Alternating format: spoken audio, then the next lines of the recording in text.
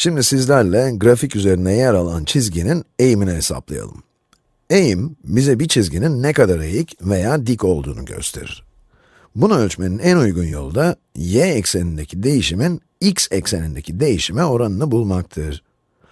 Aynı doğru için deneyeceğiniz her değer için bu eğim aynı çıkacaktır. Bazen de bu oranı şu şekilde görebilirsiniz. Bir üçgen. Bu üçgen delta olarak adlandırılıyor.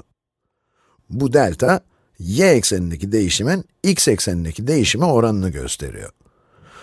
Bu yazdığımda, y'deki değişimin x'teki değişime olan oranını göstermenin bir diğer yolu. Şimdi de, y eksenindeki herhangi bir değişimin x eksenindeki herhangi bir değişime oranına bakalım. Öyleyse, herhangi bir noktayı seçerek işe başlayalım. Çizgi üzerindeki herhangi bir noktayı seçiyoruz. Mesela şimdi bu işaretlediğimiz noktadan başlayalım. Başka herhangi bir noktaya gitmek istiyoruz buradan. Bu işlemi gerçekleştirirken, çizgi üzerindeki herhangi iki noktayı seçebilirsiniz. Ben hesaplaması kolay olsun diye tam sayıları seçmeye özen gösteriyorum. Böylece hesaplamak daha kolay oluyor. Peki şimdi y eksenindeki ve x eksenindeki değişimler ne kadar? Öyleyse ilk olarak x eksenindeki değişime bakalım. Bu noktadan diğerine doğru gidersek, x eksenindeki değişim ne olur? Hesaplayalım. 1, 2 ve 3 birim ilerliyoruz. Yani x eksenindeki değişim 3 birim. Ayrıca bunu iki nokta arasındaki farktan da bulabiliriz. Eğer eksi 3'ten 0'a doğru ilerleseydim, yine değerimiz 3 birim olacaktı. Şimdi bunu da yazalım. X eksenindeki değişimimiz, yani delta x eşittir 3. Peki y eksenindeki değişimimiz ne kadar? y eksenindeki değişimi şöyle hesaplayalım. Eksi 3'ten eksi 1'e ilerliyoruz. Ya da doğrudan 1, 2 birim sayabilirsiniz. Böylece y eksenindeki değişimim artı 2'ye eşit oluyor. Şimdi de bunu yazalım. y eksenindeki değişim eşittir 2. Peki, x eksenindeki değişimin y eksenindeki değişimi oranı nedir? x eksenindeki değişimimiz 3 iken, y eksenindeki değişimimiz 2 oluyor. Bu oran da bizim eğimimiz. Sizlere çizgi üzerindeki hangi iki noktayı seçersek seçelim, sonucun aynı çıkacağını göstereceğim. Diyelim ki bu iki noktayı değil de, herhangi başka iki noktayı seçiyorum. Bu noktayı başlangıç noktam olarak ele alıyorum. Ve buraya kadar ilerleyip, bu noktayı seçiyorum. İlk olarak y eksenindeki değişimi hesaplayarak başlayalım. 1, 2, 3, 4 birim.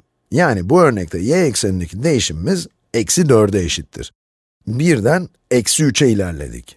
Ve aldığımız yol, yani y eksenindeki değişimim eksi 4'e eşittir. Peki şimdi, x eksenindeki değişimimiz ne kadar? Bu noktadan başlıyorum. Ya da bu x değerinden tüm mesafe, tüm bu mesafe boyunca ilerleyelim. Sola doğru ilerliyoruz. Yani çıkan değer negatif olacak.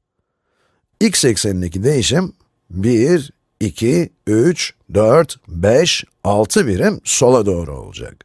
Yani x eksenindeki değişimimiz 6'ya eşittir. Şöyle de bulabilirsiniz. x değerinin 3'e eşit olduğu noktadan başladık ve x değerinin eksi 3 olduğu noktaya kadar ilerledik. 6 birim sola ilerledik. Yani eksi 6 birim değişim gerçekleşti. Peki öyleyse bu iki değerin birbirine oranı nedir? y eksenindeki değişimimin x eksenindeki değişimime oranı eksi 4 bölü eksi 6'dır. Eksiler birbirini götürürse 4 bölü 6 kaç eder? 4 bölü 6 eşittir 2 bölü 3 demek. Böylece her iki hesaplamada da aynı değeri elde ettik. Değerleri hesaplarken tutarlı olmaya dikkat edin. Bu noktayı başlangıç noktası olarak alırsak, 4 birim aşağıya ve 6 birim sola doğru ilerliyoruz. Eksi 4 bölü eksi 6. Eğer ikinci noktayı başlangıç noktası olarak alsaydım, yukarı doğru 4 birim ilerlerdik. Yani y eksenindeki değişimimiz de 4'e eşit olurdu. Ve x eksenindeki değişimimiz de 6'ya eşit olurdu. Her iki şekilde de y eksenindeki değişimin x eksenindeki değişime oranı 4 bölü 6'dan 2 bölü 3 olacaktır. Kısacası bir çizgi üzerine hangi iki noktayı seçtiğinizin hiçbir önemi yok. Doğru bir şekilde hesapladığınız sürece hep aynı eğimi elde edeceksiniz.